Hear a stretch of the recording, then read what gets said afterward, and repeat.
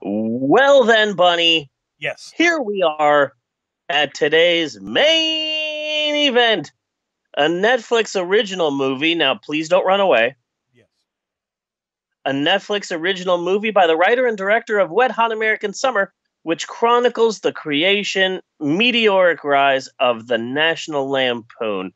Now, I, I wanted to do something different with this discussion because the National Lampoon was about being rebellious and going against societal norms. And in, in, in many ways, National Lampoon was very much a sort of comedy version of 70s punk rock. Yes.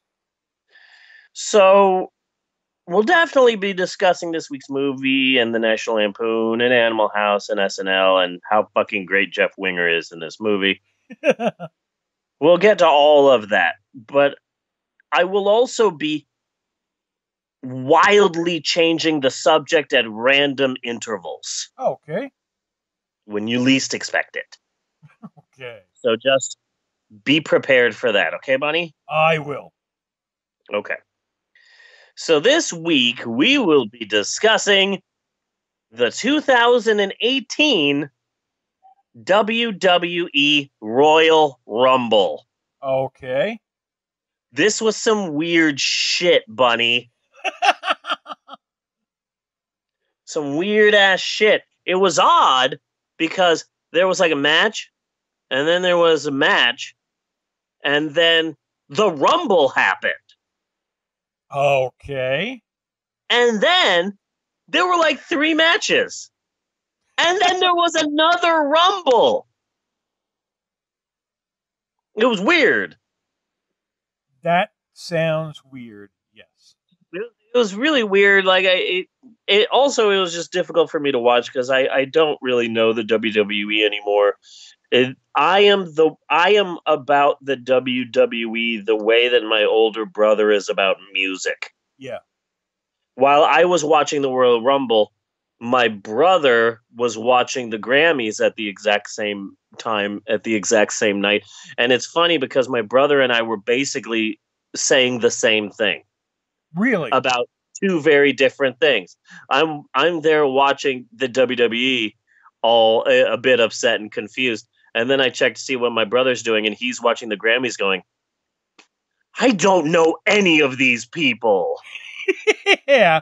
Uh-huh. Wait, who are you? What do you do? I I'm I haven't heard of this before. Have I been gone that long? I'm so confused. What's your deal? What the hell are you wearing? And why are you with that guy? I'm so confused. And basically I'm like, yeah, that's exactly the same as me. You know? Yeah. I, I have I, I have a, a, a tendency of, of paying attention to the WWE roundabout the road to WrestleMania. So the Royal Rumble, the Elimination Chamber, WrestleMania, maybe what comes after WrestleMania, and then I pretty much just tap out. But I'm trying to care more about wrestling because they recently uh, signed uh, indie wrestler Ricochet to a contract with their training facility, which could lead to uh, Ricochet being on TV in in some form or another in the WWE. And Ricochet was Prince Puma in Lucha Underground, and God damn it, I love Lucha Underground. Yes. And this means I I should probably start paying attention to the WWE because literally at any second. Prince Puma could just be right there in the middle of it, and so it it would behoove me to start paying attention. So I decided to watch, and um, it's weird because there for the first time ever there was a women's Royal Rumble. Okay. I, I didn't think about it, frankly. It, it's inter- it's interesting because I'm like, oh, there's going to be a women's Royal Rumble. Okay, that should be interesting.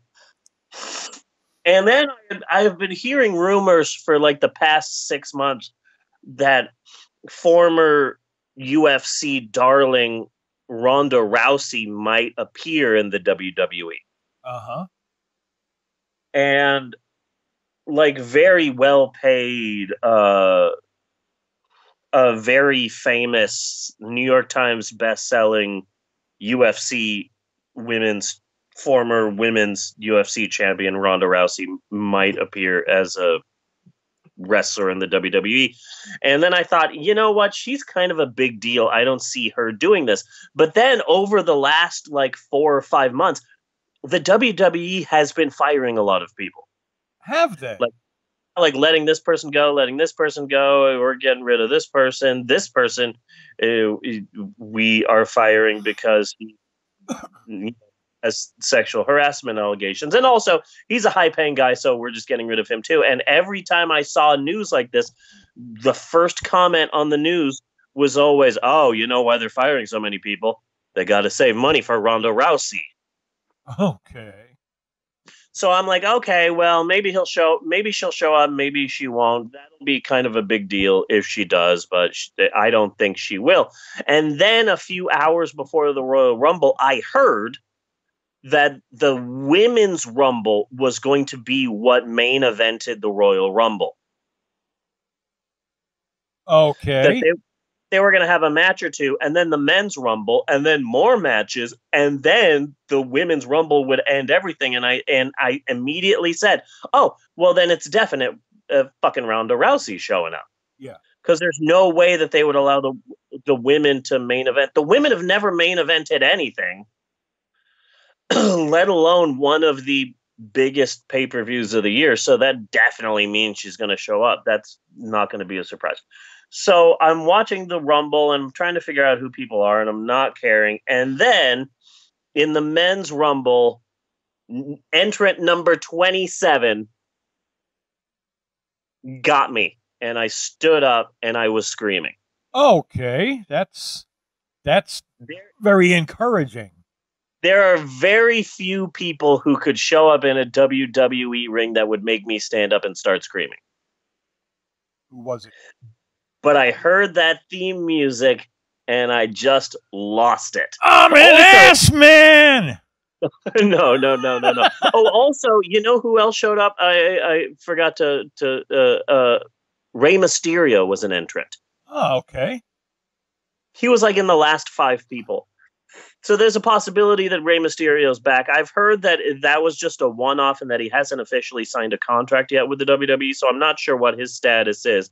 But the real shocking one is that you know they're count doing the countdown for the Royal Rumble. Five, four, three, two, one.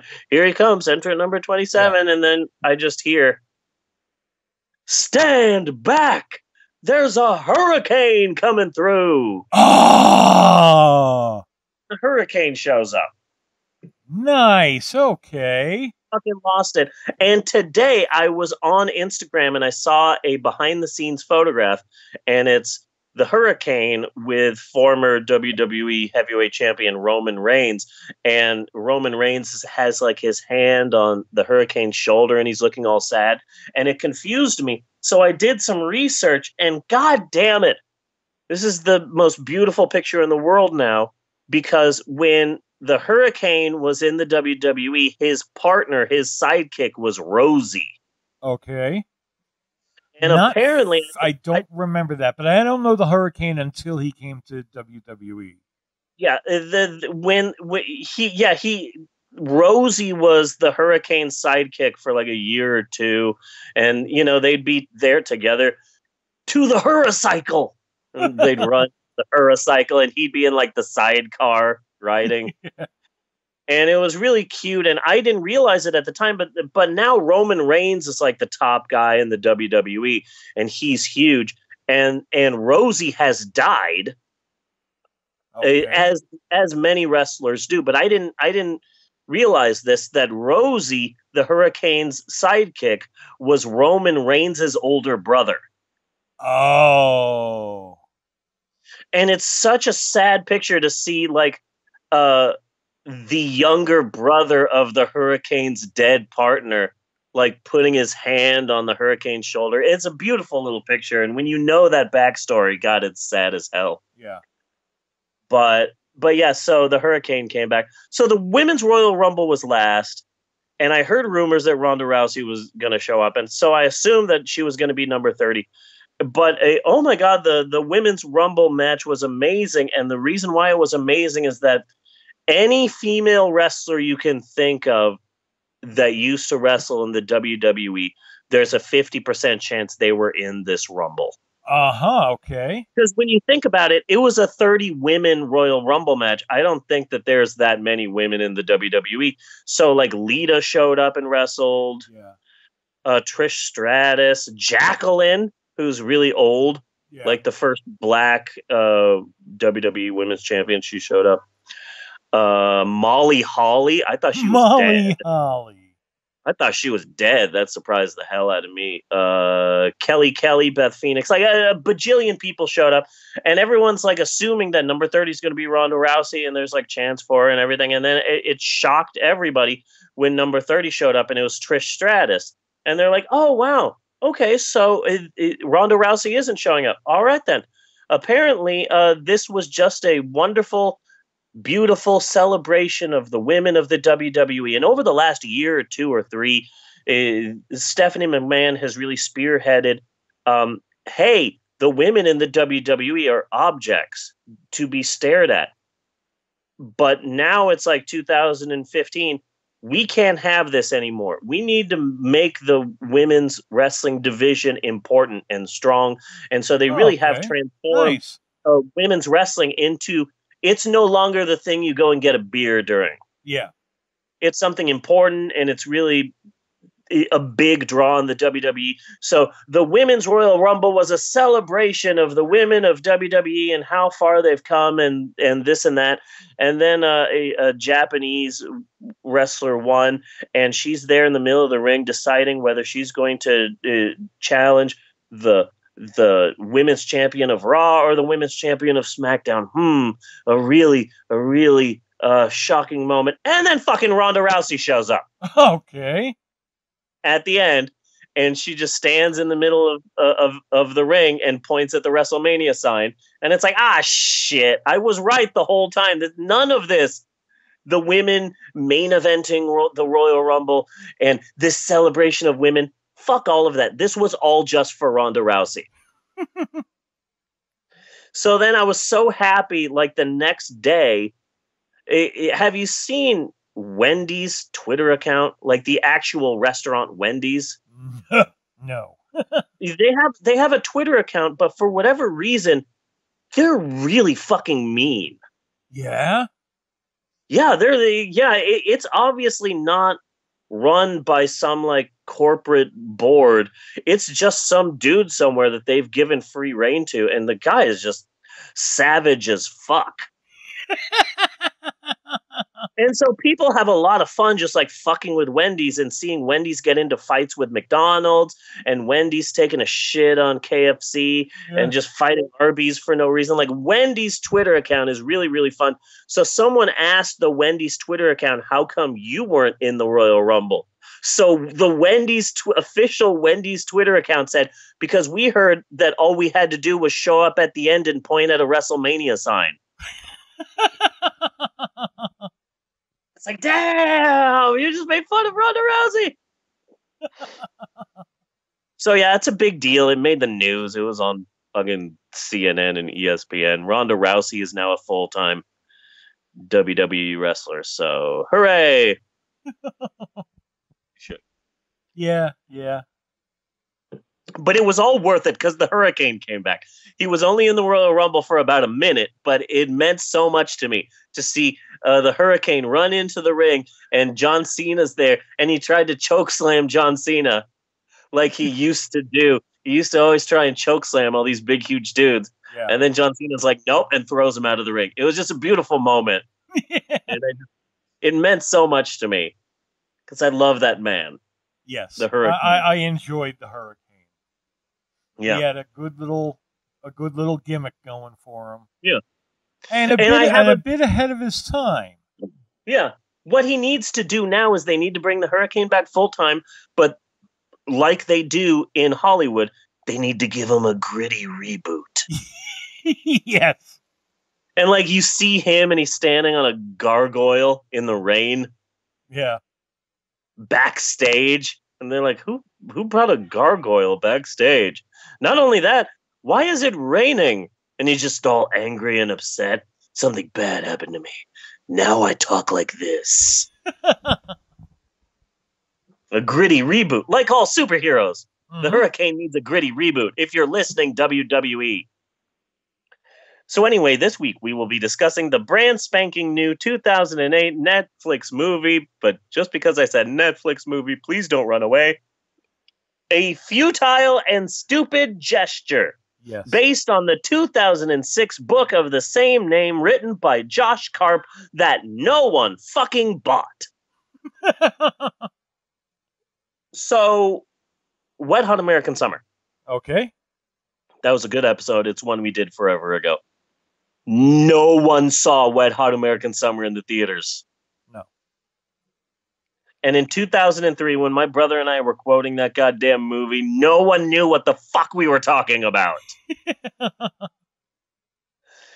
Because my brother and I, we we just primarily speak in movie quotes. We we just talk in references and so we would just be at the bar and we would be doing karaoke and it's like thank you thank you everybody now if you'll excuse me i'm gonna go hump the fridge and like no one knows what we're talking about but he knew and i knew and that's just like that's all that mattered Yeah. you know but wet hot american wet hot american summer had its loyal fans and as that film's cult grew so did the name of director david wain he was from MTV's The State. He was also a member of the Comedy Central show Stella. He did a number of movies after Wet Hot American Summer, including Wanderlust, Role Models, and The Ten. The Ten is hard to find, but it is worth it. I still laugh every time I think of CAT scan machines or Dianne Wiest. okay.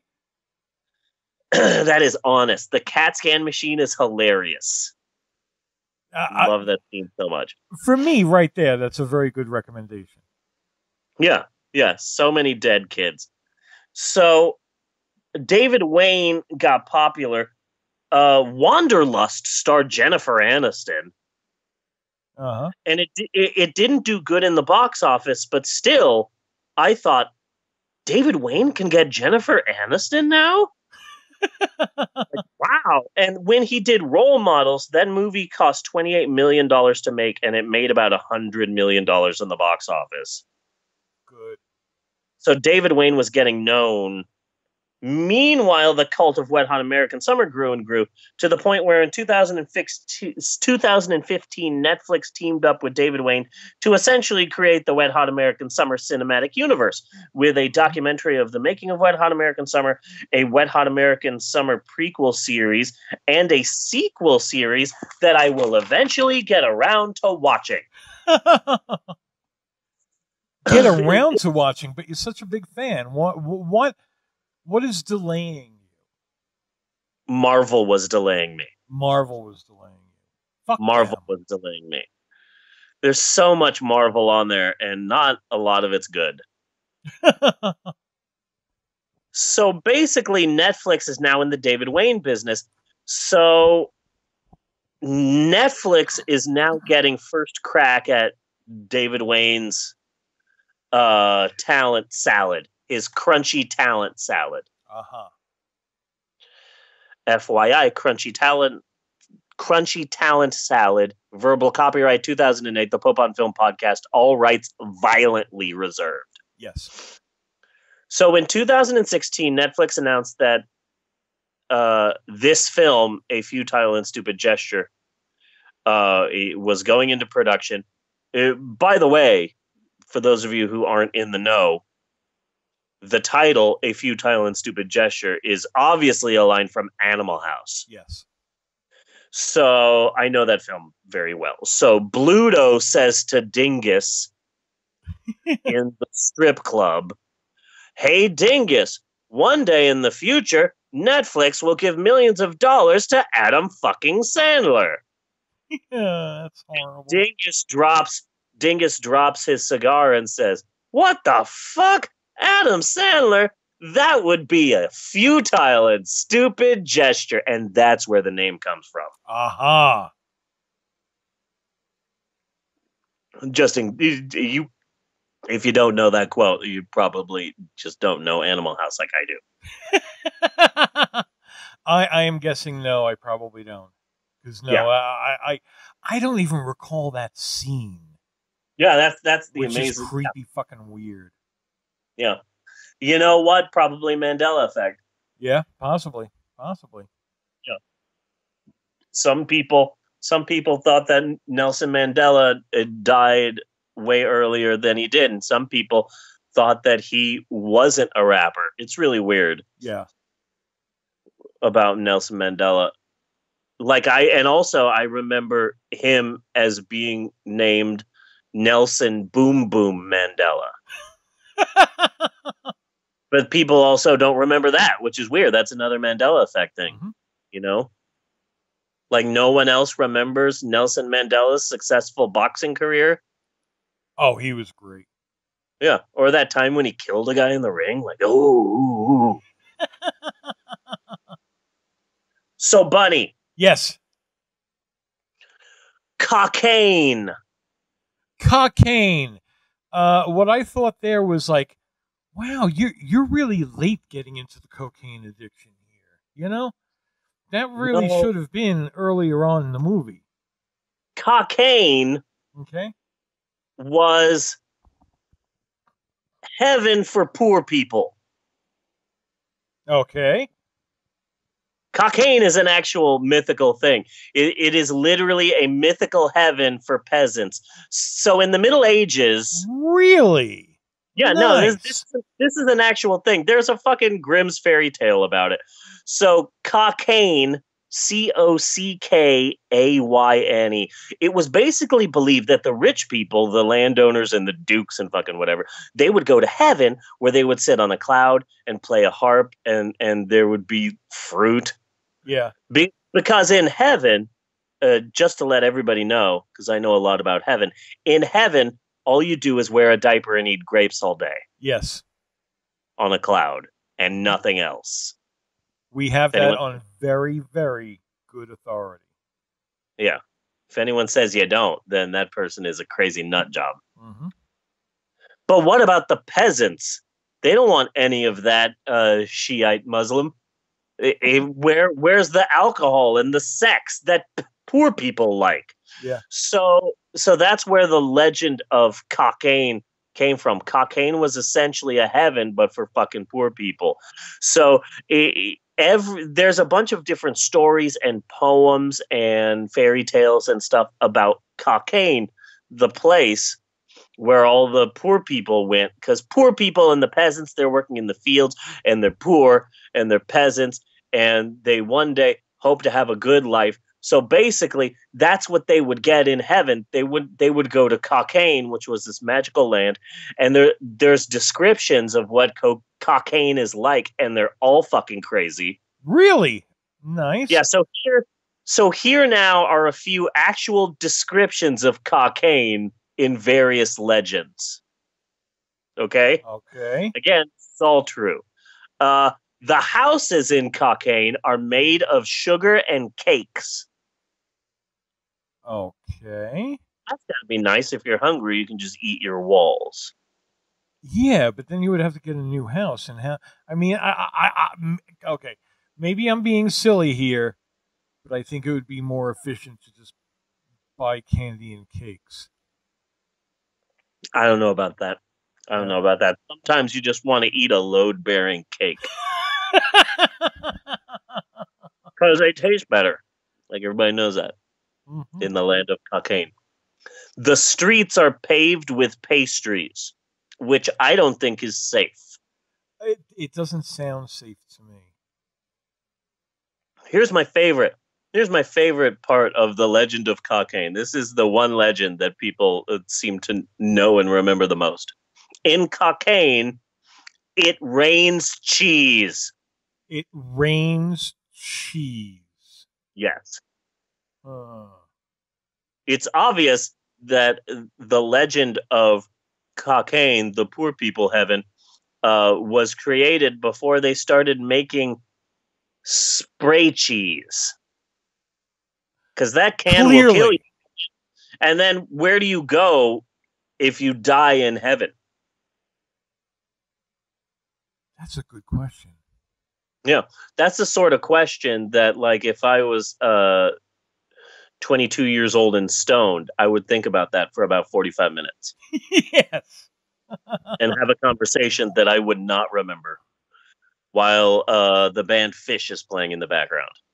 But see, I don't know. For me, squeezed cheese is America.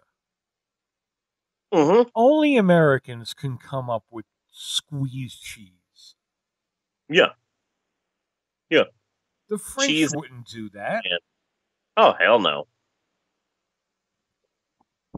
We can come up with spray cheese because as Americans, we don't have a good self esteem. True. There's a there's a much better self esteem in France. Uh, Oh, no. We cannot do this. And then meanwhile, America's like, uh, what was that? I'm sorry, I was just stapling my nuts to my leg. I read an article somewhere.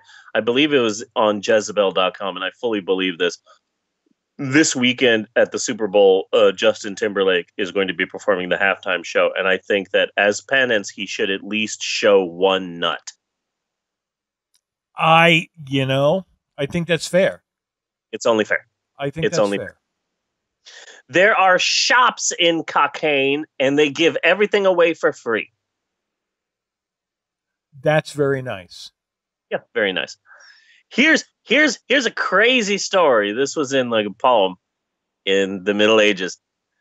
Pre-roasted pigs walk around with knives and forks inside of them to make them easier to eat. That hardly sounds fair, though. You know, Yeah. And how do you kill it if it, already has like a knife and fork in it? Are they happy about it? Is it like a Meeseeks box? Is a cow going to be coming up to me? Hey, how you doing? Will you kill me, please? You let me die? You know? yeah. I don't know because we we know that stabbing it with our steely knives don't work. Yep. Just can't kill the beast. No. The the rivers in Cockaigne are made of wine. Okay. You stay eternally young. Like like like real wine, or is it made of wine? I just wanted to be a bubbling brook, you guys. no, actual wine. You can get drunk in Cockaigne. You stay eternally young. And here's the best part about Cockaigne, which makes me want to go there sex whenever you want. All right. There are nuns, but they're really horny nuns. what I one of the stories I read said that everything was opposite in Cockaigne. So in in Cockaigne there are friars that smoke and cuss, and there are nuns, but they lift up their uh, garments so that they can show their naked butts. And also, you can have sex whenever you want. So now I'm torn, Bunny, Yeah. because Cockaigne sounds like an awesome ass heaven to go to when you die, but you know, it goes two ways. I notice in the description that there's no mention of gel balls or treehouse slides. uh, no, and and that is a failing. I would have to say. I, I, I don't think there are any carnies in Cockaigne. So it's kind of it's kind of a toss up right now for me. when you would when you would think oddly uh, that all the carnies would be there. Yeah. Now I read I read a book by Chuck Palahniuk and it was his take on it's a series he's working on. He's written two books in it. He's he hasn't yet released the third book, but basically he's writing like an 80s teenage version of uh the Divine Comedy. Okay. And li- literally it's about a girl in hell writing letters to satan and each chapter starts are you there satan it's me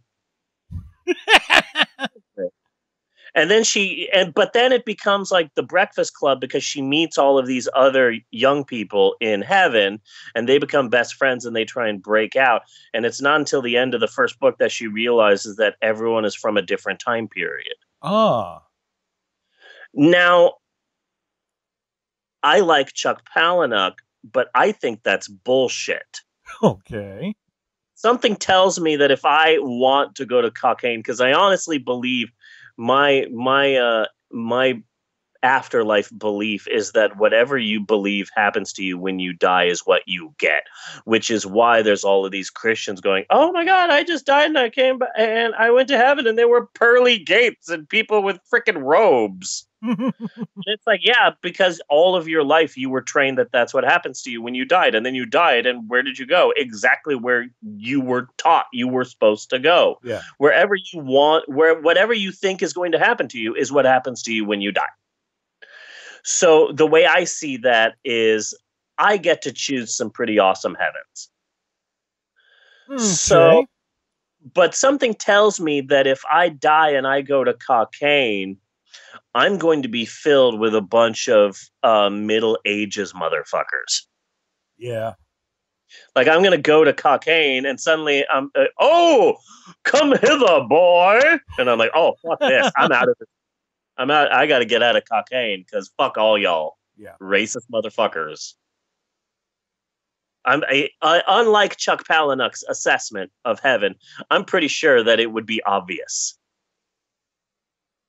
Like you'd be meeting someone in heaven, and and that person's like, "What up, soul brother?" And I'm like, "Okay, 70s, gotcha." Okay. See, that easy, that easy. I I can see that, and I, I can agree with that. Yeah. Are you wearing mixed fabrics? so, reviews. People hate a futile and stupid gesture. I'm not sure why. I liked it. Yeah. Currently, the film has 48% on Rotten Tomatoes. People hate this movie. Yeah. I'm not really understanding why either. Now, Bunny, I'm sorry to have to do this to you, Bunny, Okay. but let's go back to the movie Bright. Yeah. We Because to- remember, Bunny, only a bright can control the power of the wand. Everybody knows that. That's the great prophecy. You know what's weird? Well, Will Smith calls his partner Shrek. Yeah. So Shrek exists in this universe. Uh, yes, it does. That's that's just odd, right? it's kind of like how like like it, that was the one thing that bugged me watching The Walking Dead, and everyone's like, "Oh, walkers! We have walkers coming up here," and I'm like, "So George Romero doesn't exist here? Yeah. That bugs me. George Romero doesn't exist. Like, so." So so what did uh did Bela Lugosi exist? Did Plan Nine from Outer Space come out in your universe? I'm so confused. Yeah. But when you see a film like Bright with fairies and elves and orcs, Uh-huh. then you kind of assume that yeah, they won't have Shrek. I, I I wouldn't think so. But Shrek is technically an ogre. Yeah, but But they're already well. What if what if Shrek is actually an autobiography? Yeah, what if Shrek is like a fairy tale to orcs? Yeah, Yeah. So if you recall that episode, the Bright episode, I said that the movie was okay. It wasn't the best. It was pretty good for a Will Smith film, but that's a low bar. yeah, But what I liked about it was that the movie, eh, what I liked about it was what Bright stood for. That the film was a big budget film that could easily come out in theaters in May or June or July. That that this film is okay. It's not the best, but this film is an important milestone because hey, maybe after this, i- i- the the the words Netflix original movie won't be something to shudder and run away from. yeah, That that I I don't like bright, but I like what it stands for. It means that from here on out, maybe we could actually see some bigger budgets and better talent and bigger names and better quality. Hmm. So I think that this week's movie could be a very good example of that. okay. Yeah, I think so. I well, I don't think it had such a huge budget. It didn't need a huge budget. But But- but but this is this is a story like why hasn't this been told already? Mhm. Why is it taken this long? Like like I know very little about about the National Lampoon. I had never heard of National Lampoon until Animal House. Yeah. You know? And then you watch this movie and good fucking god, everybody is involved. Yeah, everybody. Yeah.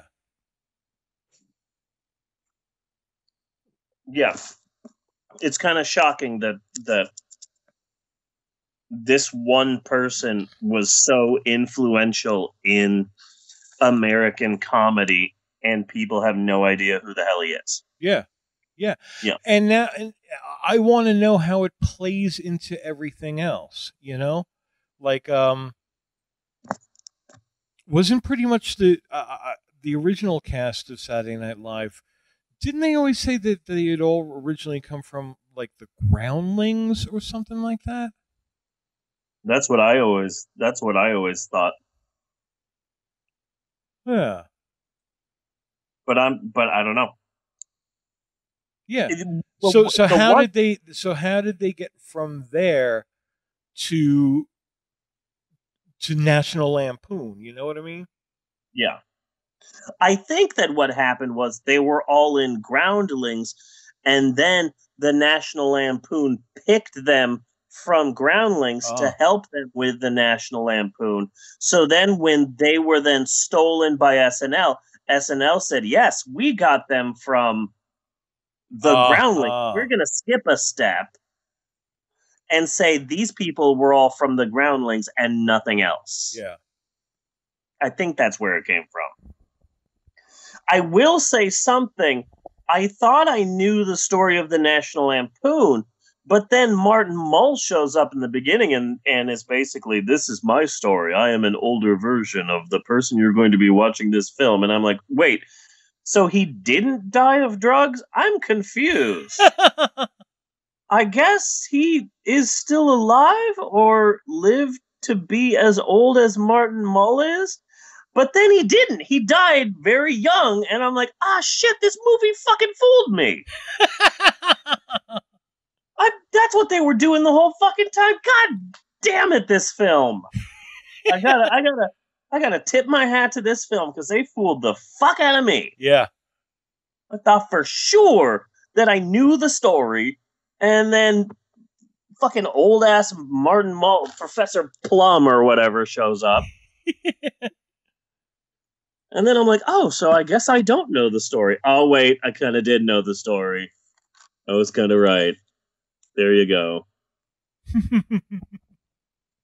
The real life people were pretty close. I you didn't see the Gilda Radner a lot, but she was really good. she she was, yes. And Chevy Chase, hats off to freaking Joe McHale. He really did a good Chevy Chase. He did a great Chevy Chase. Because Joe McHale and and Jeff Winger and Joe McHale as host of the soup, he already has this sort of cocky demeanor. He has a book out and it's a self-improvement book to help people be more like him. nice. I appreciate and now- that.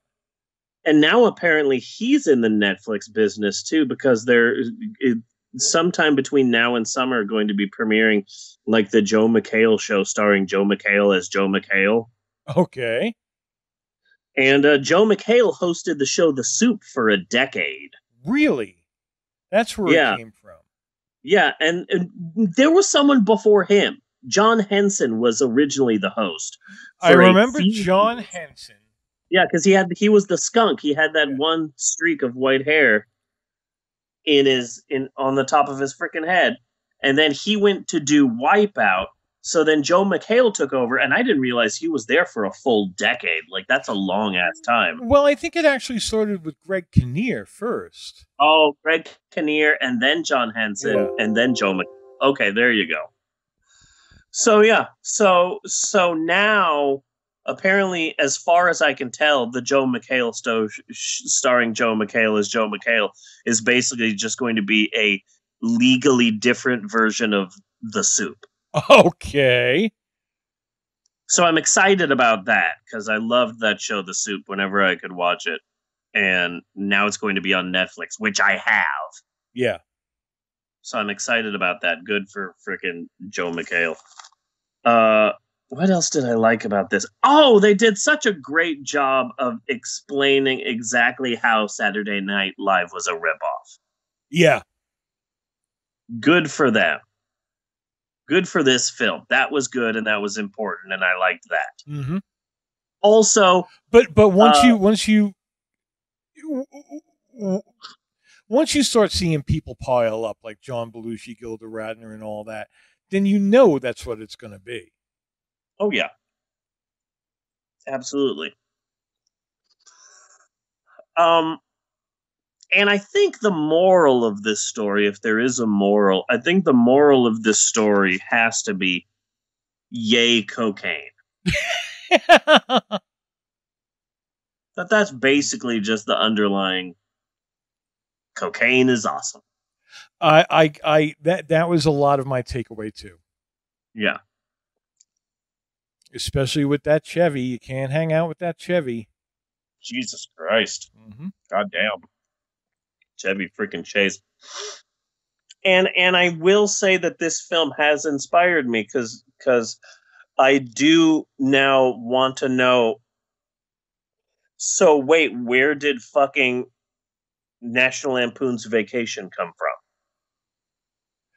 That's an excellent question. We because I knew National. Lampoon's Animal House, Yeah. and then I was aware of of um uh Caddyshack, but then National Lampoon's Vacation was huge, and they made a shit ton of those. Uh huh. Yeah. So where did those come from if this guy was dead? That is a really good question. And another thing I've been telling people about. We we need a a, a, historian and a private detective for Yeah. things like this. Another eh, the the thing I've been telling people about is that I've never seen a biopic be so honest. Yeah. He was totally a dick, and he came off like a dick in a lot of cases. No, but also the fact that they literally showed a list of things they changed or cut out. Yes, that was brilliant. God damn, that is some serious, honest shit. And I paused it a couple of times, and one of the things was uh, these guys were way more racist. And I'm like, yeah, I've flipped through some national National Lampoon magazines, and there's some serious racist shit in there. It looks to me as it's it's the next step from like Zap Comix. Yeah, You know? Yeah. It's the same kind of thing. It's an adult mad. Yeah, pretty much. Yeah, like an offensive adult mad. Yeah. magazine. Yeah. But I really liked this film. It was a really good film.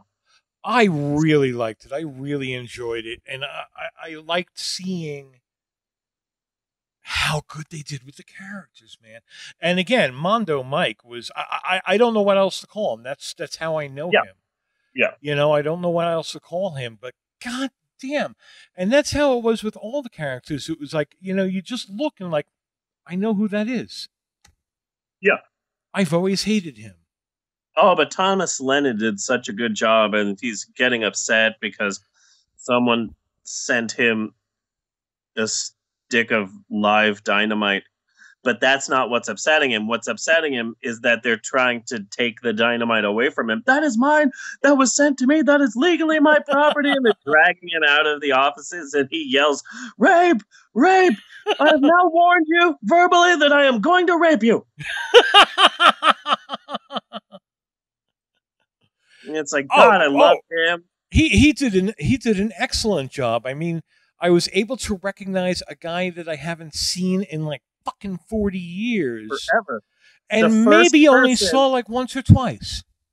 Yeah. You know? He was the he was the first uh lead writer of Saturday Night Live and the first person to have a line on Saturday Night Live. Uh-huh. Because he was the guy who was teaching um, John Belushi to speak English. So he, I would like, I would like to feed you, to feed you to the Wolverines, to the Wolverines. so he had the first lines ever in the first Saturday Night Live. Yeah. In that first season of Saturday Night Live, they did something so brilliant that I still hope that one day SNL will do it again. What did they do? Rob Reiner was hosting and he went out and he did his monologue, but then at the end he messes it up and he goes, "Ah, man, I I'm sorry, I messed up that line. Okay, let's take it again." And he starts from the beginning of his monologue Yeah. and everyone's like, "Rob, Rob, Rob.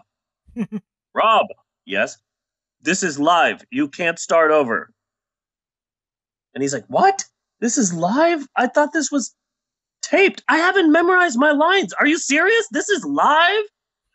so he literally fucks up the rest of the show Yeah.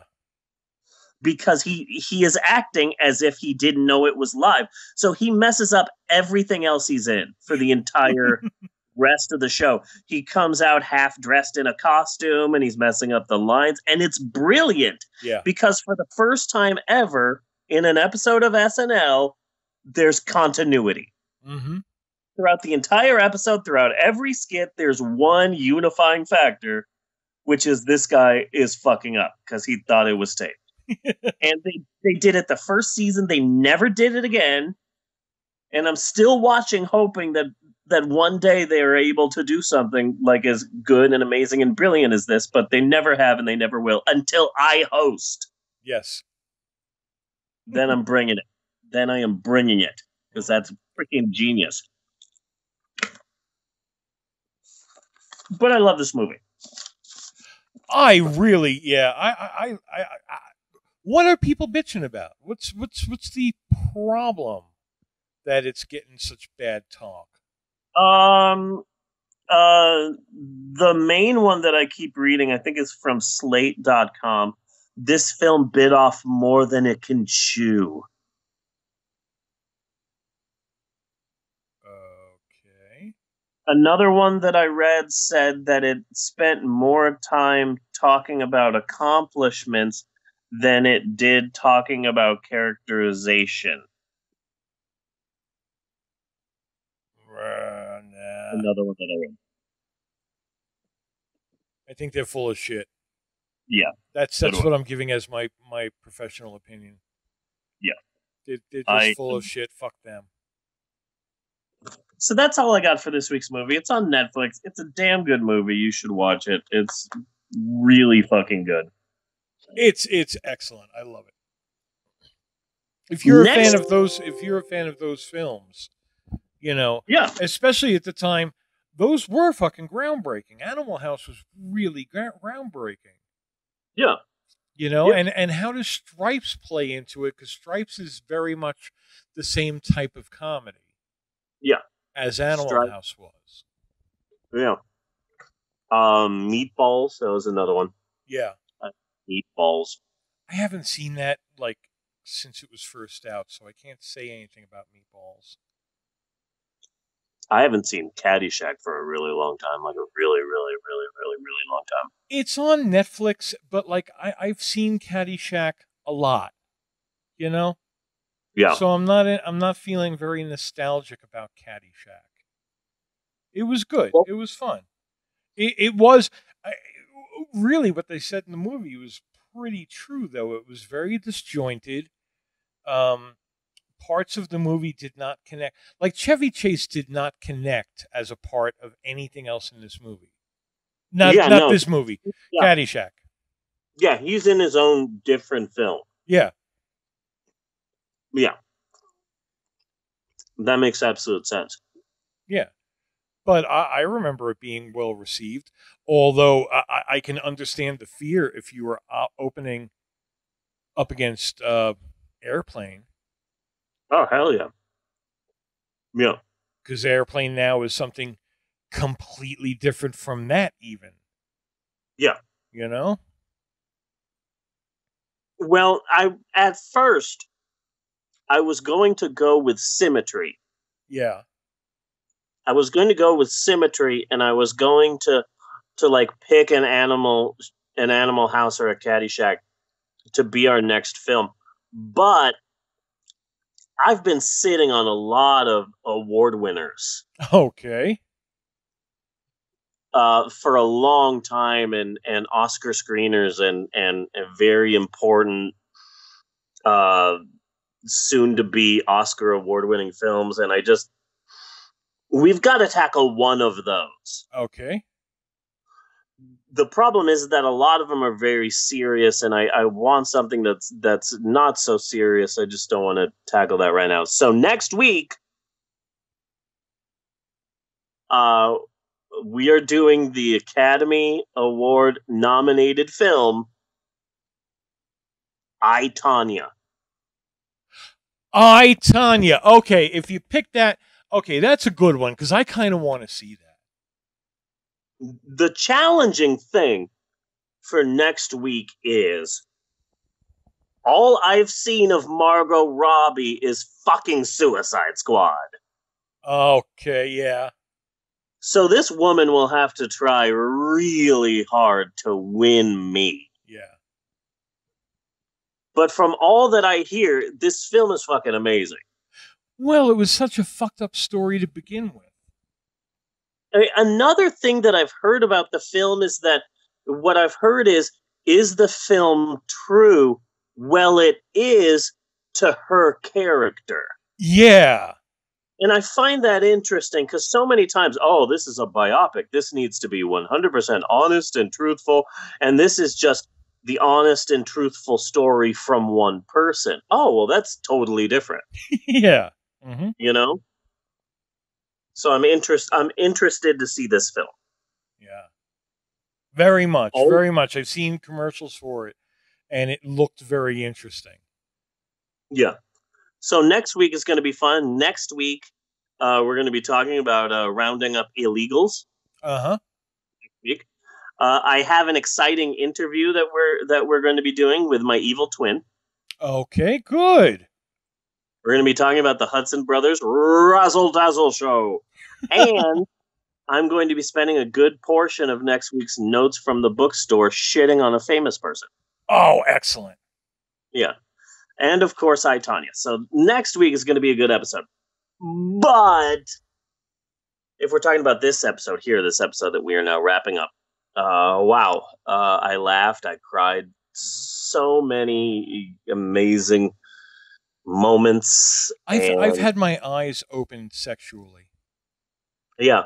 during this. Uh, yeah. Um, we came to the defense of porn actresses and uh, ducks who want to have sex with you. And Fabio. Fabio. Fabio. Fabio. Fabio. Baltimore cops, Alice in Chains. Looking back now at this uh, amazing episode, I, I gotta say, I think this was a pretty, a pretty damn good episode. I think it was a pretty damn good episode too. Yeah, I'm glad we are in agreement. Yeah. So until next week, I am Bunny Williams. And I am Reverend Steve saying thank you for listening. And on behalf of Natasha and Maxwell and Bella and Eleanor and everybody else, I just want to say thanks for listening, and we will see you next week, you godless heathens. And I don't think Bella's running in here. uh, no, I think we're good. Waiting a few seconds out of respect. All right. Do do do do do do do do do do do do do do do do do. Cut and print. Cut and print.